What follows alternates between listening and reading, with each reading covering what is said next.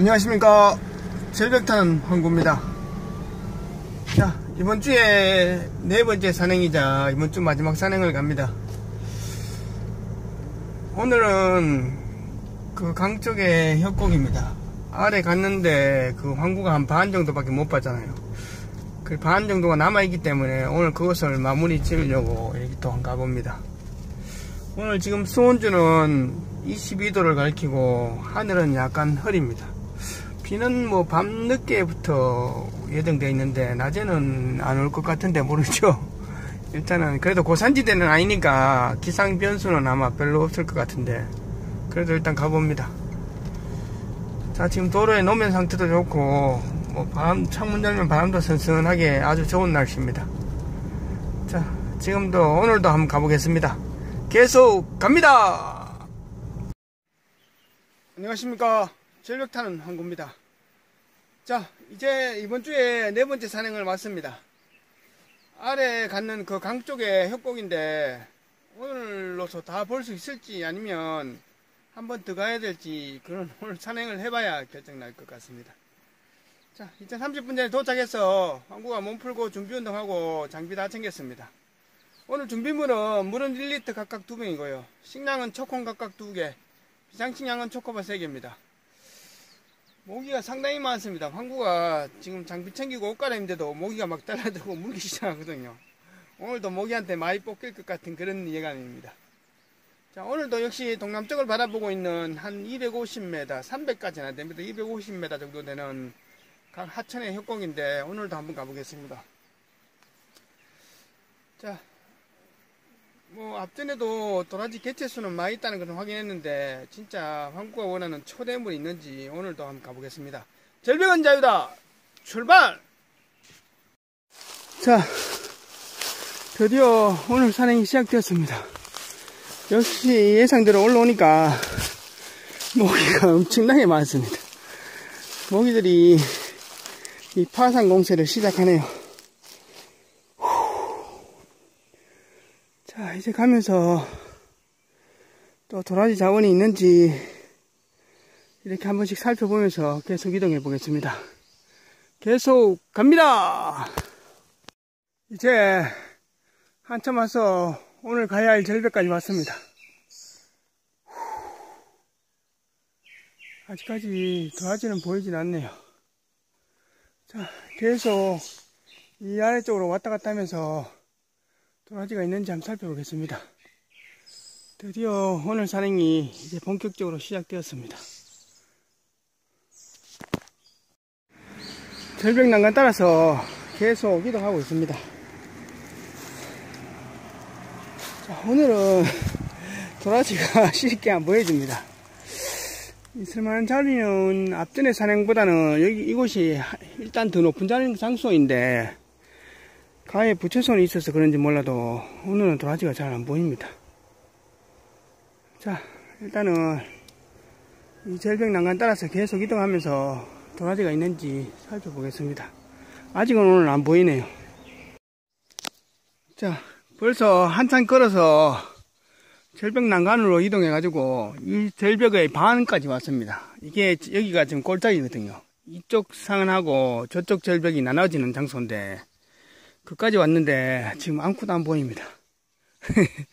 그 산이는 산이란 것은 알다가도 모릅니다. 앞전에 도라지가 그 아래 턱에 상당히 많이 많았잖아요. 그래서 황구는 이 상층부 턱에도 도라지가 많을 줄 알았는데 이 상층부에는 또 전혀 없잖아요. 그래서 산이라는 것은 모르는 겁니다. 지금 여기를 건너갈까 아니면 이쪽으로 올라갈까 지금 방향을 생각 중입니다. 일단 여기서 한 5분간 쉬면서 물 좀 마시고 그 다음에 저 건너편으로 건너가든지 아니면 저 위로 올라가든지 둘 중에 하나를 선택하겠습니다. 자 다음 절벽을 건너오니까 여기 이런 게 있습니다. 자 까만색 초코바 같은 게 있죠. 초콜릿 같은 게. 얘들이 버섯입니다. 이제 버섯 시즌이 오기 시작하네요. 이런 잡버섯들이 잡버섯들이 막 피어 있습니다 이름은 잘 모르겠습니다, 저도. 하여튼 굉장히 맛있어 보입니다. 자, 이제 넘어왔으니까 이쪽 난간을 살피면서 도라지가 있는지 한번 보겠습니다. 노란색 원추리는 있는데 도라지는 있을지 모르겠습니다. 지금부터 이쪽 절벽을 난간을 이동하면서 도라지가 있는지 살펴봅니다. 절벽 사이로 이동하고 있는데 여기 노란색 꽃이 있죠. 자, 얘들이 원추리입니다. 원추리. 얘들도 상당히 이쁘죠. 자, 그리고 여기 이런 게 있습니다. 여기 보면 삭대가 하나 있고 여기 삭대 두 개짜리가 있습니다. 이것은 잔대입니다. 잔대. 자, 원추리도 보이고 잔대도 보이는데 도라지는 전혀 안 보입니다. 없을까요, 도라지가? 일단은 계속 이동해 보겠습니다. 저 아래쪽에 있다가 이제 저 상층부 절벽으로 가고, 가, 이동하고 있습니다. 자, 여기서부터 상층부 절벽이 나타나니까 이 아래로 또 왔다 갔다 하면서 도라지가 있는지 한번 살펴보겠습니다. 이 아래쪽에는 방향하고 장소는 좋은데 도라지는 없더라고요. 자, 이 상층부 절벽을 올라가면서 또 최고 대물 도라지가 있는지 한번 살펴보겠습니다. 후, 햇빛도 안 나오고 바람도 없고 날씨도 꿉꿉하니까 굉장히 습합니다. 모기들도 엄청나게 많네요. 자, 상승부로 이 정글 숲속을 헤쳐서 올라오고 있습니다. 이런 정글 숲 같은 데 올라올 때는 벌집 같은 도 벌집도 있을 수 있기 때문에 진짜 밑에만 보는 것이 아니라 위 아래도 다 살펴봐야 됩니다. 자 여기 오니까 낙석이 어마어마하죠. 자 지금부터 이 상층 부절벽인데 도라지가 있는지 한번 살펴보겠습니다. 절벽 아래에 이런 게 있습니다. 자 멧돼지가 자갈하고 파나가지고 이래 해놨는 거 보시죠. 저 바위는 멧돼지가 날랐을까요? 아니 우연적으로 들이댔을까요? 하여튼 여기 멧돼지 1층 침대 여기 2층 침대가 있습니다. 자 여기서 쉬고 요 위에서도 쉬고 이러네요. 그러니까.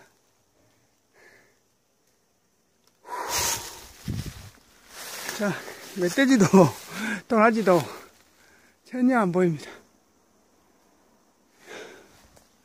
느낌은 좋은데 오늘 도라지는 전혀 안 보입니다. 이제 상정부 절벽에 올라와서 한 5분간 쉬고 있습니다.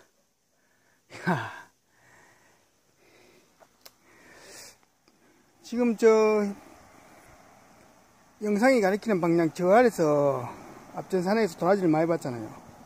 지금 여기가 상층부인데 물론 방향은 북동 쪽이지만은 참 모르겠죠.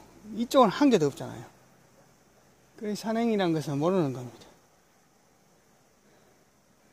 일단 여기서 한 5분간 쉬었다가 요 아래다가 도라지 씨를 한 20개 심어 놓고 가겠습니다. 그리고 어차피 왔으니까 이 상층부 난간을 통해 가지고 저 건너편 넘어가 가지고 건너편까지 다 보고 오늘 산행을 이쪽을 마무리하는 걸로 그렇게 해야 되겠습니다. 다음에 올 필요 없이 오늘 다 끝내는 게 안 좋겠나 그렇게 생각합니다. 일단 여기서 한 5분간 쉬었다 가겠습니다. 그리고 여름 사랑에서 여러분들이 쉴 때는 항상 좀 바람 좋고 선선한 곳에 이런 곳에 쉬면, 쉬면 모기들이 좀 덜 달라듭니다. 그리고 지금 그 벌들이나 아니면 독충들도 진짜 많을 그 시기, 시기이니까 주위를 잘 살피면서 산행도 하고 주위를 잘 살피면서 좀 쉬는 게 좋겠죠. 황구는 여기서 한 5분간 쉬었다 가겠습니다. 자, 절벽 난간 아래 여기다가 도라지 씨를 한 20개 심어 놨습니다. 빨리 이동해야 되겠습니다. 와, 가만 앉아 있으니까 모기들이 점점 날라듭니다. 자, 빨리 다음 장소로 이동해 보겠습니다. 다시 항구를 건너와서 건너편 절벽으로 왔습니다. 자, 여기 그 절벽 아래 노관주 나무가 있고 중간중간 턱들이 좋은데 도라지는 전혀 안 보이네요. 자, 이 정도 봤으면 거의 다 봤습니다. 이제 다시 정상 올라가가지고 저 왔던 길로 넘어가 보겠습니다. 처음 출발지에 절벽 한 군데가 남아 있는데 그거 보고 오늘은 산행을 좀 일찍 마무리하는 걸로 하겠습니다.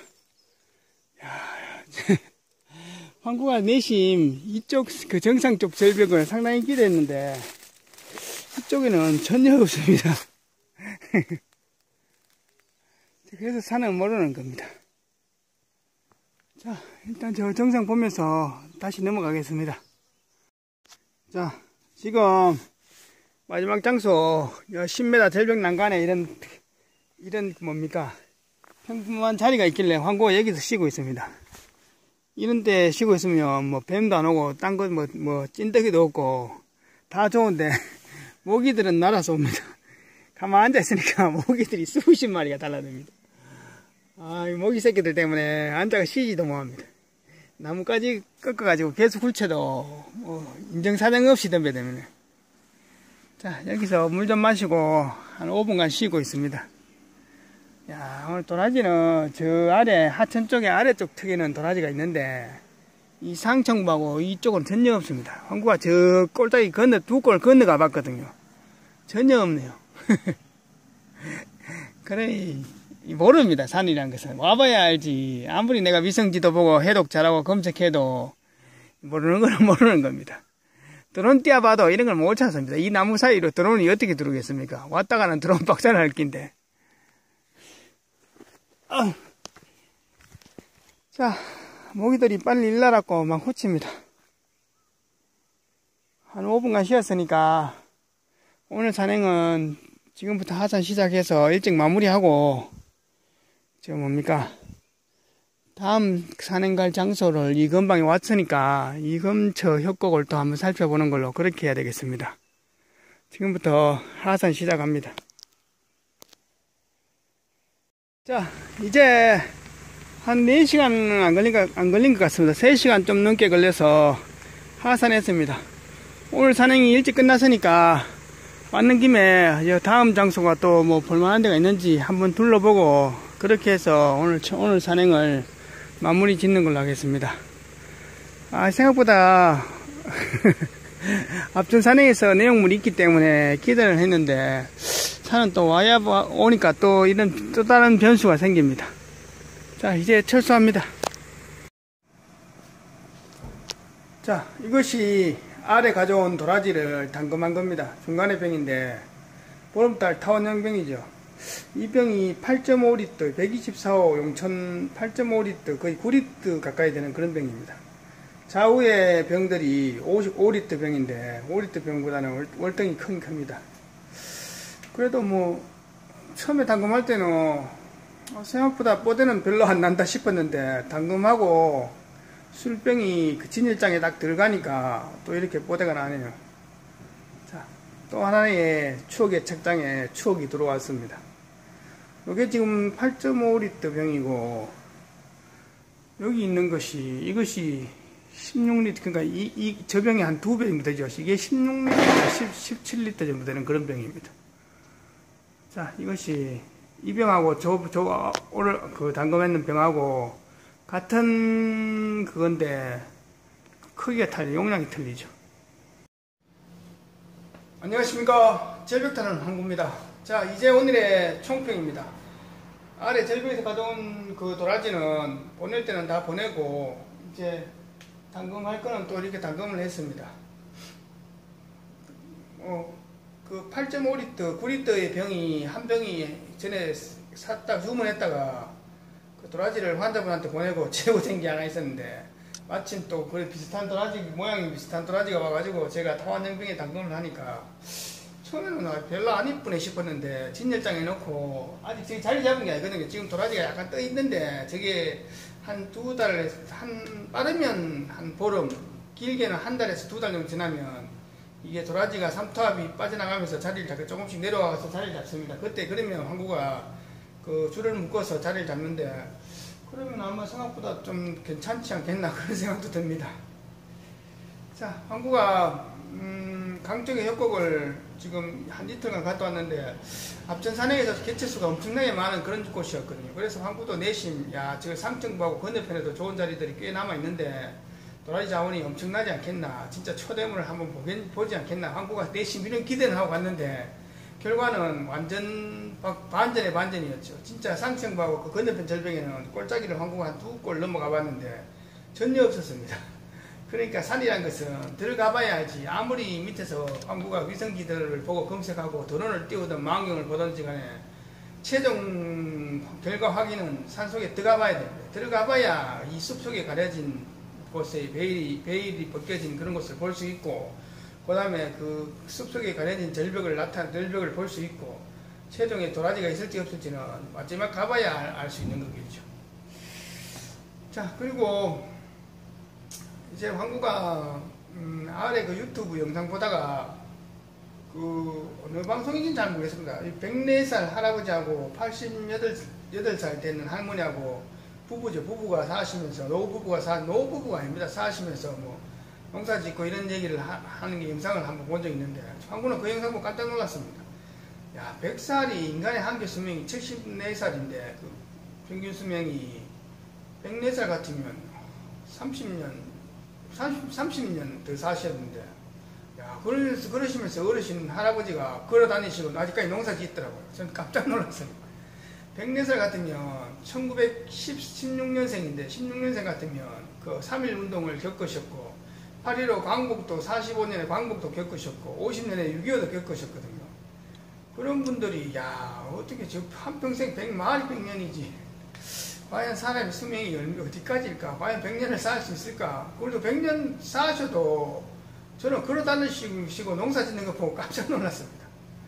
그래서 한날에는 하- 밭에 가시다가 너무 무릎이 너무 아파가지고 포기하시고 다시 집에 오시더라고요. 그래가 의사분하고 간호사분이 왕진해가지고 이제 이리 검- 간단하게 집에서 검사하는데 무릎 연골 관절이 100년을 사, 살으셨으니까 100년을 썼으니까 다 따라가지고 걸음이 막 아픈다면서 그러니까 이제 농사에서 줄여라면서 그 의사분이 얘기하고 그 혈압과 맥박을 재는데 와 심장의 수준은 아직 정상적으로 작동하고 그 혈압도 정상적으로 작동한다는 거 깜짝 놀랐습니다. 심장이 태어나서 100년을 뛰었거든요. 그런데 아직까지 정상적으로 작동한다는 것은 진짜 건강한 거. 심장 혈압과 맥박이 심- 그 혈압과 그 맥박이 정상적이라는 것은 그 할아버지 심장하고 혈관이 굉장히 튼튼하고 좋다는 걸 그런 것을 나타내는 거죠. 그러니까 그거 보고 저는 아, 할머니도 88살이면 뭐 그래도 아직 그런데 할아버지가 104살 한국을 하여튼 깜짝 놀랐습니다. 그분 진짜 그, 그 저승의 축복과 이승의 노력이 만나서 그렇게 된 겁니다. 근데 너무 고- 농사를 너무 많이 지시고 고생하시니까 그 의사 선생님이 자꾸 농사를 줄여라면서 이제는 심장하고 혈- 혈관은 튼- 튼튼한데 무릎의 관절은 한계까지 왔다면서 이렇게 막 그러시더라고요. 그 어르신이 그래도 뭐 또 농사 짓는 거 보고 하여튼 한국 깜짝 놀랐습니다. 하여튼. 자, 그래서 왜 이런 말을 하냐면 자동차의 powertrain을 제일 중요한 엔진과 미션을 powertrain이라는데 사람도 마찬가지입니다. 자동차하고 사람하고 보면 신체적 구조나 이런 것을 보면 진짜 비슷한 점이 굉장히 많습니다. 자동차의 powertrain은 엔진과 미션이지만 이 아래 수직으로 아래 위로 피스톤이 빵빵빵 끌리면 수직으로 상하 작용하는 이 운동을 크랭크 축을 돌려가 회전 운동으로 바꿔가지고 이 회전 운동을 미션이라는 것을 통해 가지고 동력을 전달하죠. 그것이 그런 구조고 사람도 powertrain이라면 이 이는 심장하고 그다음 혈관입니다. 심장에서 힘을 보내면 혈관을 통해 가지고 이것을 다리로 다리로 동력을 전달하죠. 혈관이. 그래서 사람 몸에서 가장 중요한 powertrain이 심장과 혈관이거든요.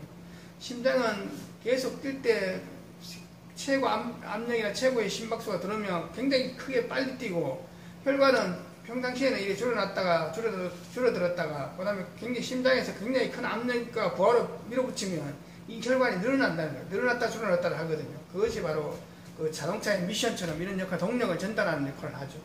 그리고 그 동력을 전달해서 마지막에 발, 발까지 와가지고 발이 움직이는 거잖아요. 그래서 저는 뭐 자동차도 10년 타면 배차한다는데 야 사람이 100년 그것도 104살까지 사셨는데 어르신들 보고 대단하더라고요. 보고 깜짝 놀랐습니다. 그래서 여러분의 장기 중에서 가장 중요한 게 사람의 powertrain은 그 심장과 혈관입니다. 심장과 혈관이 가장 건강에 가장 큰 역할이죠. 그래서 이것이 잘못돼 버리면 사람이 사망이 이를 수가 있고 가장 뭐 이것이 잘못돼 버리면 모든 몸의 장기들이 유기적으로 작동을 안 하는 겁니다. 그래서 심장과 인간의 powertrain인 그 심장과 혈관의 가장 중요한 운동이 바로 이 등산이랍니다. 산이 산만큼 이 사람의 심장과 powertrain을 이렇게 단련시키는 운동이 없습니다. 그래서 여러분들이 한국 앞전에도 얘기했지만은 산은 산을 오르는 사, 오르고 내리는 사람한테 건강과 무병장수의 축복을 주지 산 속에서 자연인처럼 산다고 하는 사람한테는 절대로 안 줍니다. 전원주택 지어 가지고 아무리 공기 좋은 곳에 가서 살아본 분들 건강은 주지 않습니다. 산은 오르고 내리는 사람한테 무병장수의 축복을 주는 거지 산 속에 사는 사람한테는 절대로 주지 않습니다. 그래서 우리나라 전국토의 70%가 산이니까 산에 자주 가시고 산하고 자주 접하면 100살까지는 몰라도 한국가 봐서는 한 80살, 90살까지는 내 몸을 내 스스로 움직이고 제어할 수 있고 건강하게 살 수 있지 않겠나 그렇게 생각합니다. 자 다음 산행은 또 어디로 갈지 모르겠지만 여러분들이 항상 구독해 주시고 댓글 달아주시니까 한국 영상 제작에 힘이 됩니다. 그리고 한국가 6월 중순에 찍은 그 한국 기행 영상은 이번 주 목요일 날 16일 날 저녁 9시 밤 9시 30분에 방송된다고 하니까 여러분들이 또 시청해 주시면 고맙, 고맙겠습니다.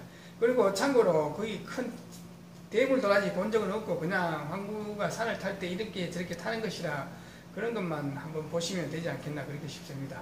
감사합니다.